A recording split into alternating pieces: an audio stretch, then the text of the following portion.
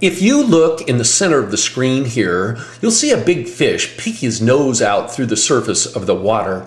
This piece of video is going to express a rare event that happens in a midge hatch mostly.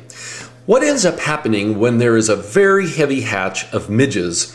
The midges will fly from the surface of the water and they begin to get in mating balls above the surface. They begin to join together, uh, flying above the surface of the water. When that mating ball gets so big that it cannot be supported in the air, it will fall to the surface of the water and there will be a ball of midges sometimes a quarter size in size, which will have 40 or 50 midges in a ball.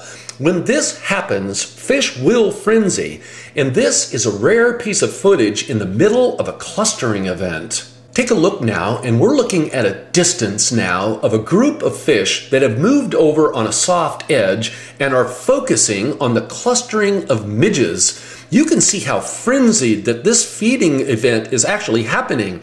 We're in slow motion, but yet there are fish at the surface at all times. When there is clustering at the surface of the water, this is the reaction from the fish out in front of you. Now, what I want you to do here is I want you to focus on the actual clusters. You can see the clusters of the midges as they appear on the water in front of you. Focus on the clusters and watch how these fish will just move to these clusters within the, this little body of water. Very interestingly, these fish are only feeding in about 10 to 12 inches of water off of the edge.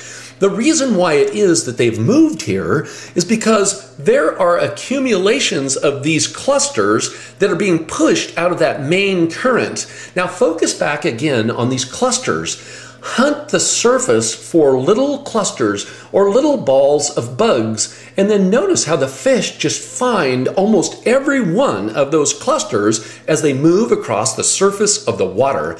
This is true frenzying in a fish feed as these fish focus on the clustering of midges.